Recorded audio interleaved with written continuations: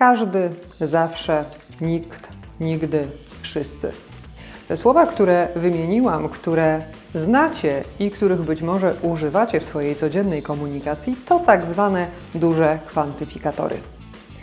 Posłuchajcie i zobaczcie, kiedy mogą być niebezpieczne, a także jak ich właściwie używać.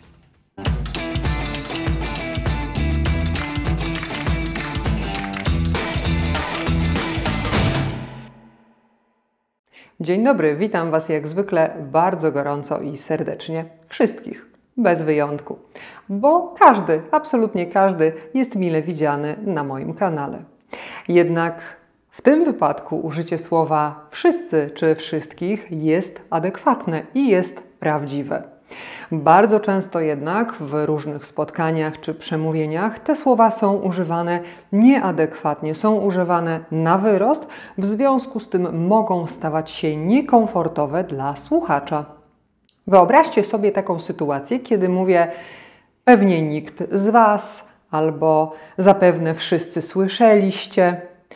Mogę ich użyć tylko w momencie, kiedy rzeczywiście jestem w 100, absolutnie 100% przekonana co do tego, że znacie lub wiecie. Natomiast jeżeli przypuszczam, że tak może być, albo jest to teza, którą odnoszę do większości, a nie do 100%, nie powinnam używać takich słów. Dlaczego? Dlatego, że mogą one obrażać, mogą one powodować dyskomfort. I w momencie, kiedy padają na przykład na spotkaniu, zawsze ktoś z zebranych może podnieść rękę i powiedzieć: A ja nie słyszałam, a ja nie widziałem, a ja wiem.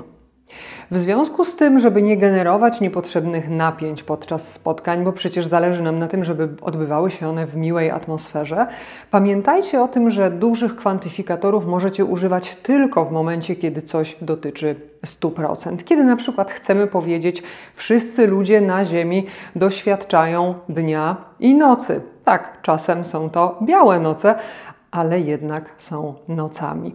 Możemy też powiedzieć, nikt na Ziemi nie przeżył dłużej niż x lat.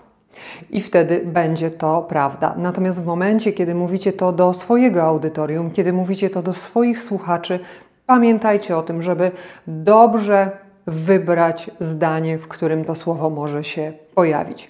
Znacie pewnie też te słowa również ze swojego prywatnego, osobistego podwórka, kiedy w momencie złości na kogoś potrafimy powiedzieć, bo ty nigdy nie wynosisz śmieci. Przecież to także nieprawda. Po to, że ktoś nie zrobił tego raz w tygodniu czy wczoraj, nie oznacza, że nie robi tego nigdy. Niewłaściwe użycie dużych kwantyfikatorów może generować konflikty zarówno na płaszczyźnie zawodowej, jak i na płaszczyźnie osobistej. Wystrzegajmy się tego i choć te słowa są nęcące i zachęcają do tego, żeby ich używać, pamiętajmy, aby używać ich tylko wtedy, kiedy rzeczywiście mają odpowiednie przeznaczenie. Trzymam kciuki za Wasze właściwe używanie dużych kwantyfikatorów. Tymczasem już dziś się z Wami żegnam. Przypominam o subskrybowaniu kanału. Piszcie pytania, piszcie komentarze i do zobaczenia.